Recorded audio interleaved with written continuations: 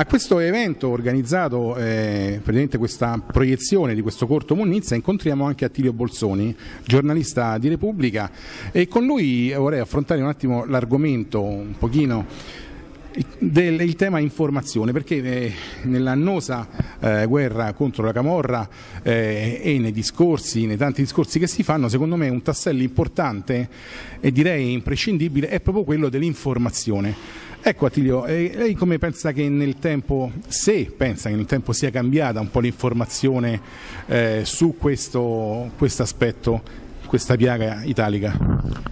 Una volta moltissimi giornali non parlavano di mafia, soprattutto in Sicilia, in Calabria. La mafia era un, era un tabù, la mafia non esisteva. Adesso tutti parlano di mafia, bisogna vedere come se ne parla. Prima niente era mafia, oggi è tutto mafia. Sono due estremi per non parlare bene del problema. Io quando ero ragazzo nel 79 ho cominciato a conoscere i Corleonesi, se adesso dovessi raccontare la storia di Tutorina, io non andrei a Corleone, se avessi una cinepresa come questa non metterei la faccia sconcia di Torina, di mm, Bagarella, Provenzano, i Ganci, Madonia, insieme ai vicoli di Palermo o la Rocca di Corleone. Metterei la faccia di Totorina insieme al Moro di Venezia di Gardini, perché Gardini, grande capitano, capitano d'industria, era socio di Totorina alla Calcestruzzi, sentenza passata in giudicato 15 anni fa. Farei un salto, La, il giornalismo investigativo deve cambiare, se dovessi raccontare Ciancimino non andrei a Corleone ma andrei a fotografare la cupola di San Pietro perché sono convinto che molti dei suoi soldi siano ancora nell'Istituto Bancario Vaticano. In questo suo, suo, intervento molto interessante eh, lei ha citato anche un eh, filone d'inchiesta, un processo che è in corso, che è un po' quello che comunemente viene chiamato trattativa Stato-mafia, partito appunto con le indagini di, di Ingroglia, eh, l'ex procuratore Ingroglia. Eh, ecco, io questa è una, al giornalista proprio chiedo, no, che, che a volte ha capacità, mh, intuito secondo me pari se non superiore certe volte all'investigatore, quello che fa appunto l'investigatore, il procuratore e così via. Lei pensa che eh, da, questo, da, questa inchiesta uscirà fuori qualcosa di sostanziale, qualcosa che potrà spiegare alcuni misteri d'Italia? Alcuni frammenti di verità le inchieste giudiziarie degli ultimi anni le hanno fatte affiorare. Ci sono delle inchieste sulle inchieste, delle inchieste sui depistaggi fatti 20, 25, 30 anni fa, perché non c'è solo Falcone e Borsellino, c'è dal, dal, dalla Chiesa, La Torre, eh, Reina, Mattarella.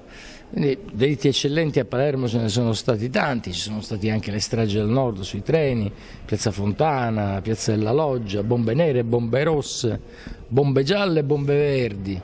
Sono tutte bombe della stessa matrice. Prima era una strategia della tensione al nord, poi sul fianco sud si è spostata la strategia della tensione con altri obiettivi, ma sempre con un obiettivo finale, destabilizzare. Io credo che piano piano qualche frammento di verità possa emergere, ma non me lo aspetto dai mafiosi. I mafiosi possono raccontare chi ha preso l'esplosivo, chi ha caricato di tritolo la macchina, chi l'ha spostata in una...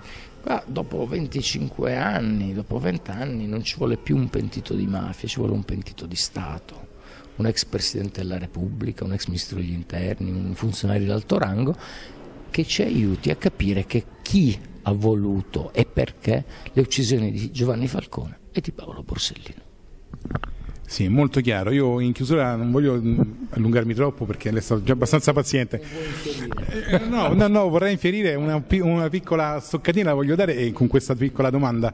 Eh, tra il eh, ipotetico eh, mandante e l'esecuzione, diciamo o meglio, e eh, la eh, ricerca e il ritrovamento dei responsabili, c'è di mezzo, oltre che la politica, anche la magistratura. Ecco, io appunto le chiedo, stiamo parlando anche di inchieste che hanno 20-30 anni, si, si so, come lei anche ha citato, si sono completamente omesse alcune testimonianze di sentire persone, Beh, eh, quello che le chiedo è non è che insomma, ci sia, oltre che della politica, una certa responsabilità anche perlomeno di una certa magistratura. Ah, in Sicilia durante le stragi decisamente sì, se uno si pensa al caso eh, Scarantino che eh, eh viene individuato come pupo del depistaggio dagli apparati di sicurezza, eh, primo, secondo e terzo grado condannano e stanno in galera quasi 18 anni, 7 persone. E poi si arriva alla revisione del processo, questi si fanno 18 anni in carcere, innocenti per non avere commesso la strage, è una mostruosità, tant'è che oggi la Procura della Repubblica di Caltanissetta, che è quella competente ad indagare sulle stragi, sta facendo una vera e propria indagine sulle indagini sugli insabbiamenti e le porcherie combinati allora dagli stessi magistrati di Caltanissetta, certo. Si può attribuire tutto a Contrada? Ma assolutamente no.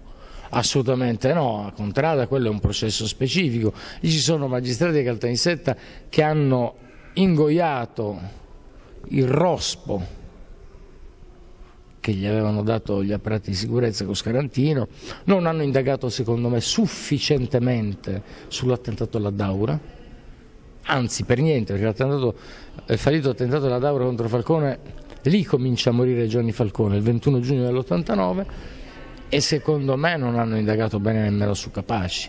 Cioè quelle indagini di 22 anni fa sono delle indagini con grandi pezzi mancanti. Grazie ad Attilio Bolsoni, eh, giornalista di Repubblica, grazie di essere stato qui su Libri TV.